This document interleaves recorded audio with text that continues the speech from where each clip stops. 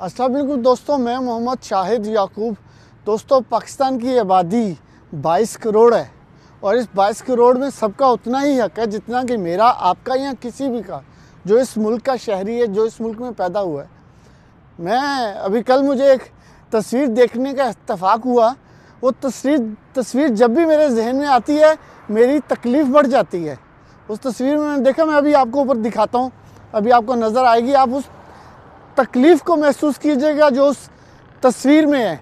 वो सिर्फ़ तस्वीर नहीं, वो एक पूरा मैसेज, एक दर्द है कि एक खातून जिसका छोटा सा बच्चा जिसको ड्रिप लगी हुई है, उसने अपने कंधे के साथ उठाया हुआ है और वो दूसरे हाथ से उस ड्रिप को ऊपर, दूसरे हाथ से उसने ड्रिप को ऊपर पकड़ा हुआ है।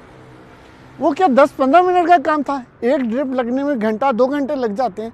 दो घंटे या जितना भी टाइम लगा होगा, किस तकलीफ़ में खड़े होकर उसने, एक तो उसका बच्चा बीमार, दूसरा वो उस ड्रिप को पकड़ के खड़ी होगी, और उसको किस तकलीफ़ से गुजरना पड़ा होगा?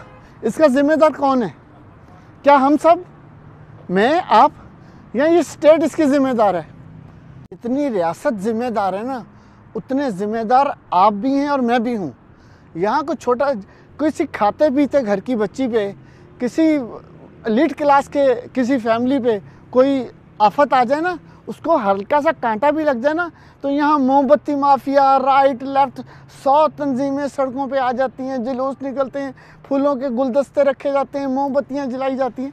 किसी गरीब के लिए कोई आवाज़ नहीं उठाता, कोई नहीं उसको पूछता, कोई उसके हक की बात नहीं करता, सबको शाम सूख जाता है। आप यहाँ किसी प्राइवेट हॉस्पिटल में चले जाएँ ना लाहौर के या इस्लामाबाद के किसी भी बड़े शहर के किसी अच्छे हॉस्पिटल में चल जाएँ, वहाँ एक कमरे का किराया, एक कमरे का किराया पीसी के होटल से ज़्यादा है। और मुझे एक दो दफ़ा लोगों से जाने का इतफाक़ हुआ और वहाँ जो खाना सर्व किया जाता है, वो पीसी की तरह रैप किया हुआ, पेपर से रैप किया हुआ खाना सर्व हो रहा होता है। वहाँ तो लग ही नहीं रहा था यार ये बंदा बीमार है। और एक गरीब, उसके बैठने, लेटने उसको ड्रिप लगवाने, कोई सहूलत मैसर नहीं है। और हम सब खामोश हैं।